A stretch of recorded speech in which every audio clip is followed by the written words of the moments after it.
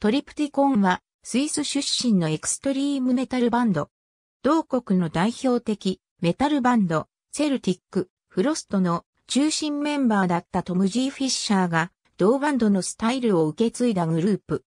創設者トム・ジー・フィッシャー2007年、スイスのエクストリームメタルバンド、セルティック、フロストの中心メンバートム、G ウォリアーが友人の女性プレイヤーバンヤスレート、サイドプロジェクトを発足させ、これがバンド形態に発展。翌2008年、トムはプロジェクトに本腰を入れるため、セルティックフロストを脱退。新バンドにトリプティコンと名付けて再スタートを切った。同年春以降、V サンチューラとノルマンドンハルドが加入して陣容が固まり、ライブ活動を開始。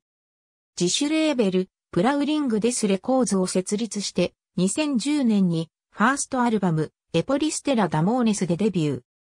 同年には早くも初来日公演を果たす。同秋に EP、シャッターもリリースし、この年トムは A メタルハマー氏主催、ゴールデンゴッツアワーズで受賞する栄誉も受けた。2014年、セカンドアルバム、メラナ・カスマータをリリース。2017年、ノルマンドン・ハルトが離脱し、翌2018年に、新ドラマーハネス・グロスマンが加入。トム・ジー・フィッシャーが在籍していた再結成、セルティック・フロスト末期頃のスタイルを継承し、非常に重いドゥミーなサウンドを主体としている。バンド名、トリプティコンもトムがこれまでのキャリアで起こしたヘルハマー、セルティック・フロストに続く第3のグループという意味を含んでいる。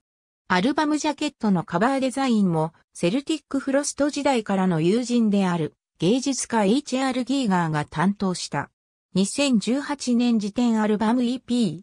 ありがとうございます。